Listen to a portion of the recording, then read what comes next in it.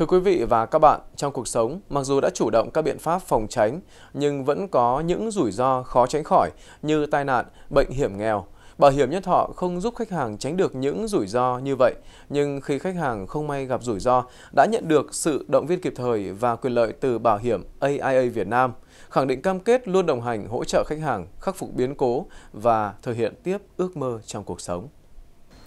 Từ năm 2016, quyết định tham gia bảo hiểm AIA như một khoản tiền tiết kiệm dành cho bản thân, bà Nguyễn Thị Liễu ở phường Chí Minh, thành phố Chí Linh không nghĩ rằng mình lại bị mắc bệnh hiểm nghèo và quyền lợi được bảo hiểm chi trả lại có ý nghĩa lớn như vậy với bà khi không may bị mắc bệnh. Được công ty chi trả cho nên tôi có số tiền để lựa chọn phương pháp chữa bệnh tốt nhất và tư tưởng của tôi cũng thoải mái nhất. Chính vì vậy mà tôi chữa bệnh rất là nhanh.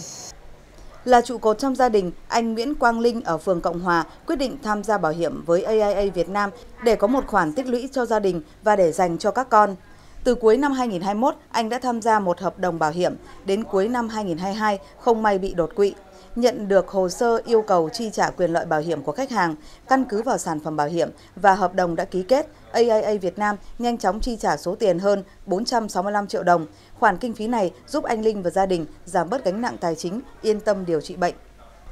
Cùng trên địa bàn phường Cộng Hòa, thành phố Chí Linh, mặc dù còn rất trẻ, ý thức được vai trò trụ cột trong gia đình, anh Đỗ Hoàng Phi đã sớm tham gia hợp đồng bảo hiểm với AIA Việt Nam. Cuối năm 2022, không may bị tai nạn giao thông, khoản chi trả quyền lợi bảo hiểm thương tật toàn bộ vĩnh viễn hơn 970 triệu đồng, hỗ trợ gia đình trong quá trình điều trị với mong muốn anh Phi nhanh chóng phục hồi.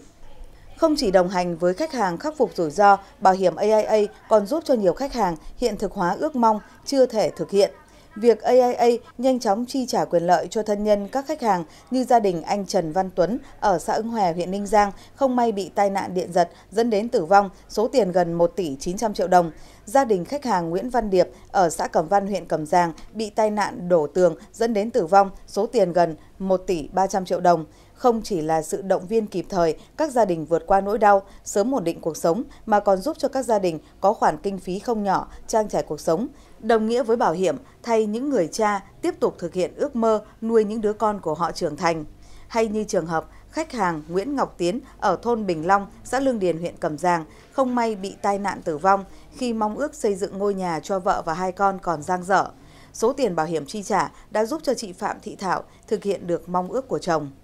được công ty IA chi trả số tiền là 1 tỷ 620 triệu. Với số tiền này, gia đình tôi đã xây cho các con một ngôi nhà theo như mong muốn của chồng tôi lúc còn sống. AIA Việt Nam là thành viên của tập đoàn AIA, tập đoàn bảo hiểm lớn nhất thế giới, tính theo vốn hóa thị trường với lịch sử hơn 100 năm hình thành và phát triển. Qua 23 năm hoạt động tại Việt Nam, AIA luôn nỗ lực với mục tiêu bảo vệ an toàn tài chính cho người Việt. Đến thời điểm này, AIA Việt Nam đã chi trả quyền lợi bảo hiểm cho hàng trăm nghìn khách hàng với tổng số tiền hơn 13.000 tỷ đồng. Tại Hải Dương, AA Việt Nam đã chi trả quyền lợi bảo hiểm cho hàng chục nghìn khách hàng với tổng số tiền hơn 280 tỷ đồng, trong đó có gần 100 tỷ đồng quyền lợi bảo hiểm sức khỏe. Chỉ tính riêng từ đầu năm 2023 đến nay, AIA đã chi trả hơn 20 tỷ đồng cho hàng chục khách hàng tại Hải Dương. Việc chi trả quyền lợi bảo hiểm không chỉ là trách nhiệm nghĩa vụ của AIA Việt Nam mà còn mang ý nghĩa nhân văn sâu sắc, thể hiện vai trò đồng hành cùng khách hàng vượt qua biến cố rủi ro với bệnh hiểm nghèo, tai nạn trong cuộc sống, thậm chí là tai nạn thương tật vĩnh viễn, có cơ hội nhanh chóng phục hồi và hiện thực hóa những ước mơ còn dang dở.